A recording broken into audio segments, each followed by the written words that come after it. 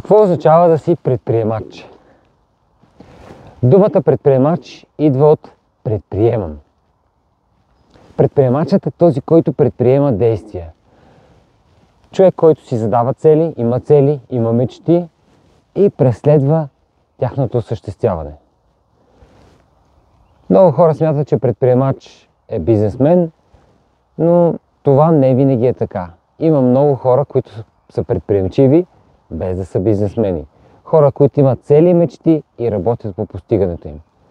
Това е предприемач.